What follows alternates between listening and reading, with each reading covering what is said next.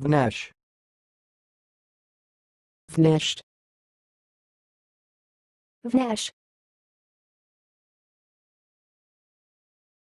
Thanks for watching. Please subscribe to our videos on YouTube.